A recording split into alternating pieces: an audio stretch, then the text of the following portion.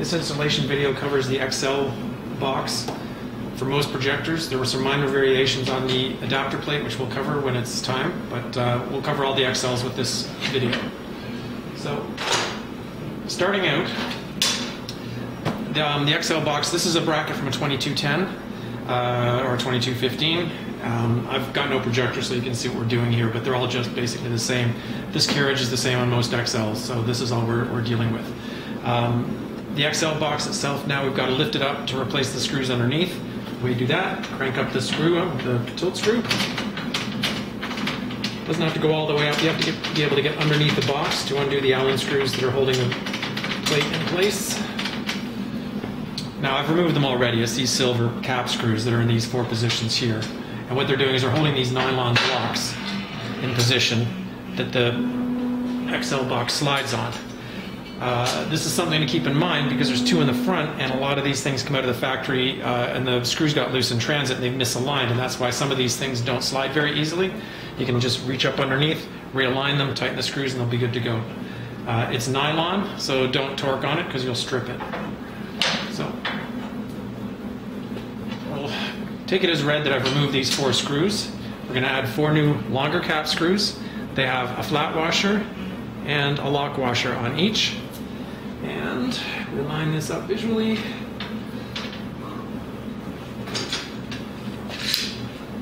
Start our motion plate. Line the holes. And put the screws in. There we go. Okay.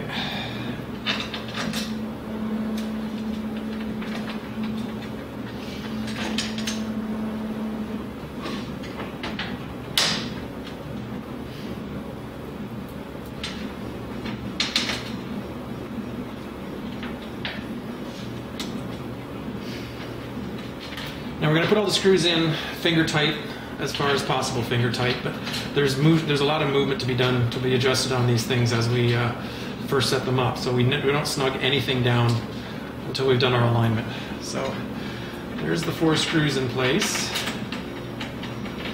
which now mounts my motion plate. Now I'll be mounting my actuator plate. Now inside our actuators you can see the black T-nuts. They'll be inserted for you before they show up. Now you'll see in this one they're on three sides, not the fourth side. So you're going to have to pay some attention as to where they go. In this case, we want one pair going down, one, pairing go, one pair going towards the screen, and one pair going up. So that means I have to rotate this 180 degrees. That gives me a pair up, a pair back, and a pair out. So now I can mount this properly. Separate the screw, the T-nuts. Now these T-nuts don't sit perfectly flat sometimes, so if you're trying to put a screw through and they're not taking, you might have to wiggle the T-nut a little bit. It's just a flat piece of metal that slides into these rails, and you're more than welcome to take them out and check them out, but it's just a threaded piece. But they don't sit perfectly flat every time, so. Okay. Now, here we go. Mount your 290s. The other 90.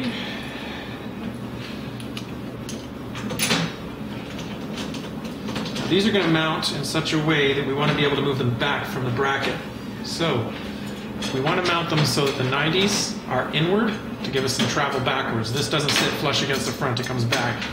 Uh, in some cases in a projector, if you're really stuck, you can just put them on the back side and push them forward, but that's going to be a case-specific thing. So now we take a long screw with a cap, long cap screw, and an eye lock, and a flat washer. Oops, don't drop that. Okay, and then the cap screw goes through from the top, washer, and then we're using nylock nuts. That's the, uh, the, threaded nut with the actual nylon in it, so that it actually stays on better. So we use those in the uh, in the crucial in the critical points. So get that one started.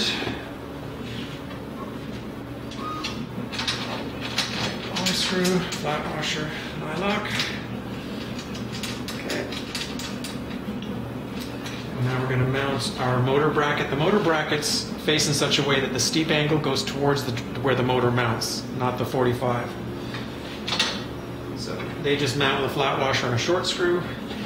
This is just an Allen driver. It's the same, it's exactly the same as using something like this. It's just an Allen screwdriver, so it just makes it easier to put them in.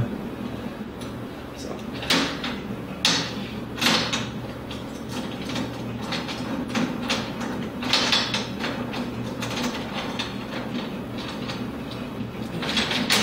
The other one moved away.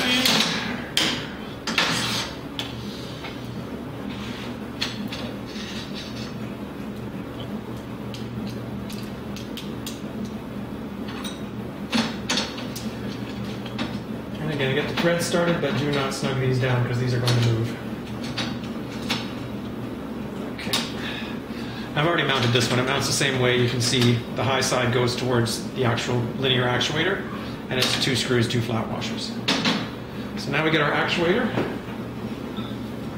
one of our pull pins, and mount the actuator in the motor end as such. This end here, if you have trouble, if it doesn't line up, if the holes don't line up, you can just take a tool and rotate until it fits. Just like that. So we put them in place. Now what I want to do is I want to get this projector into the lens position. Now I've still got my stop block in place from the sliders, from the RealD slider. So that tells me my lens position. So what I'm going to do is slide over until I hit my stop, is there. And then I want to snug things down. Before I go too far though, I want to make sure the motor is in alignment with this rail and I want to make sure this rail is roughly square on here. So it is, it is now, so we'll do that. Let's tighten up the screws.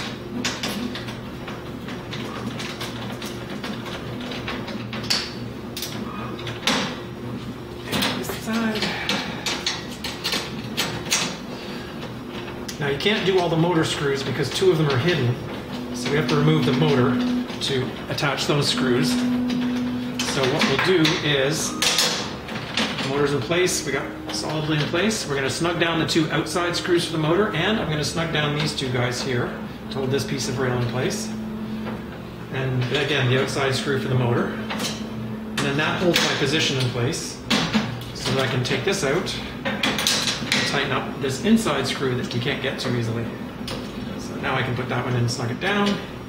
And this one over here, I've got to do the exact opposite. I'm going to take this side of the motor out and get this screw in place. And snug it down. Okay. Motor back. Pull, pin- pull pins back in again. If they ever do have an emergency where something dies in the system, we can just leave this pin in place. We can just pull this pin out, pull the actuator up and leave it like this, and then they can just go back to manual function. So. Okay, I noticed I hadn't tightened these guys up, so we'll give them a tighten at the same time. Good. So now my rail is held down, the 90s are held down, the rail is bolted in to the 90s, so it's firm. Okay. Okay, and uh, now. Uh, long, mount the box. So the control box mounts into two more T-nuts in the front end here just the shorter screws. If you're uh, if you have some obstructions, you can't possibly mount the uh, the control box like this. You can mount it wherever you like. We just found this is a convenient location. But you could have the box sitting under the projector if you chose to, and you wouldn't have to have it tied up here at all.